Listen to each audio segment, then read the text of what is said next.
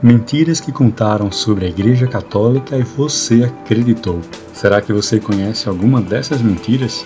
Conta para mim aqui nos comentários qual delas você já ouviu. A Igreja teria matado milhões de pessoas na fogueira durante a Idade Média. Mentira! Quem determinava que heresias deviam ser punidas com morte eram as autoridades seculares e não a Igreja Católica. Você deve lembrar das aulas de história que naquela época os territórios eram divididos em feudos e não havia uma centralidade de governo. Os grandes senhores feudais puniam por crime tudo aquilo que eles achavam que fosse heresia. E esse era um problema, já que cada um criava o seu próprio conceito de heresia. Era um verdadeiro horror de linchamentos públicos promovidos por esses nobres. Este espírito de justiceiros dos senhores feudais só foi barrado quando a Igreja Católica exigiu o direito de julgar os supostos hereges, já que os padres eram os únicos na sociedade que tinham o um mínimo de formação necessária para realizar as devidas avaliações.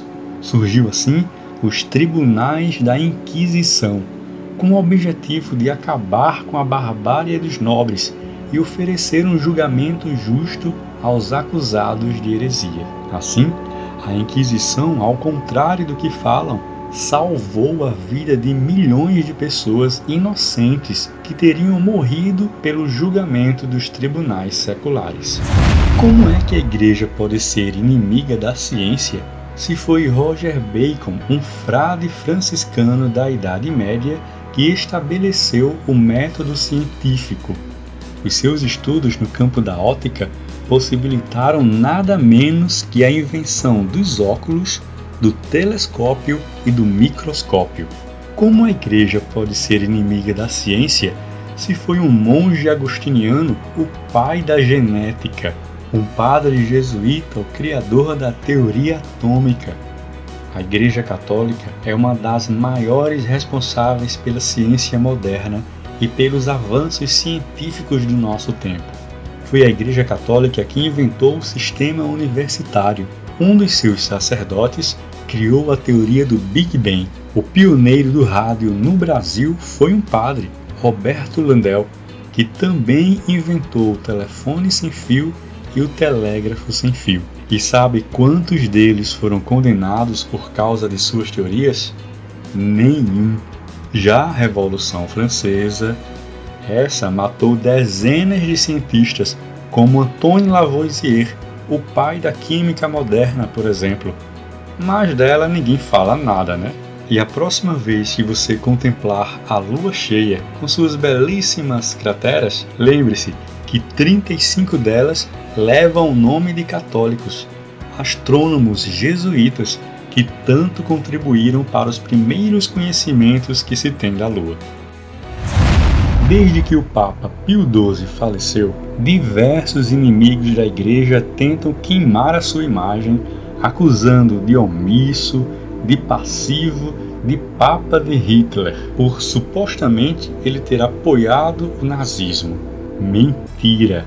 A verdade que muitas vezes não se fala é que Pio XII salvou mais judeus do que qualquer outra pessoa. Mesmo arriscando sua vida, cercado de espiões, ameaçado de morte, Pio XII abriu as portas do Vaticano, de conventos, de igrejas e escolas para acolher judeus foragidos. De acordo com um estudo da Fundação Pave the Way, havia 12.428 judeus em Roma durante a invasão nazista em 1943. O cuidado de pastor de Pio XII impediu que mais de 11.400 judeus fossem deportados para Auschwitz.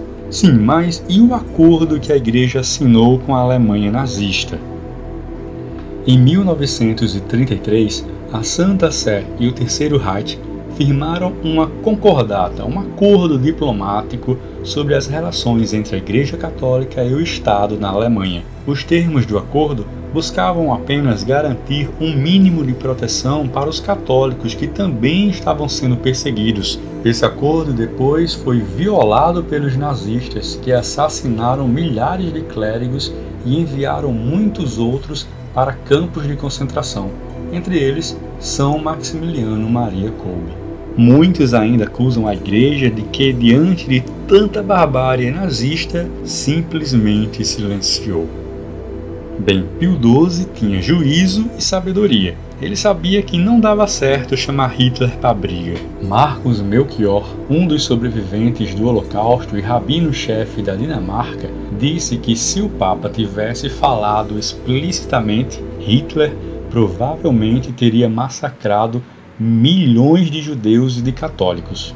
Mesmo assim, em 1939 e 1940, o Papa atuou como intermediário secreto entre os alemães que conspiravam contra Hitler. Como o risco era enorme, as ações de Pio XII para acabar com o regime nazista se davam principalmente por debaixo dos panos. Segundo Albert Einstein, somente a Igreja ousou se opor à campanha de Hitler de suprimir a verdade. Mesmo nunca tendo um interesse especial pela Igreja, ele admite que passou a sentir um grande afeto e admiração, porque somente a Igreja Católica teve a coragem e a força de estar ao lado da verdade intelectual e da liberdade moral. Claro que existem muitas outras mentiras que inventaram sobre a Igreja Católica, mas isso fica assunto para outros vídeos. E você, conhecia alguma dessas mentiras que eu contei? Escreve aqui nos comentários. E se você gostou do vídeo de hoje, não se esqueça de deixar o seu like e se você ainda não está inscrito, se inscreva em nosso canal. Que Deus nos abençoe, Nossa Senhora nos proteja e São José interceda sempre por nós.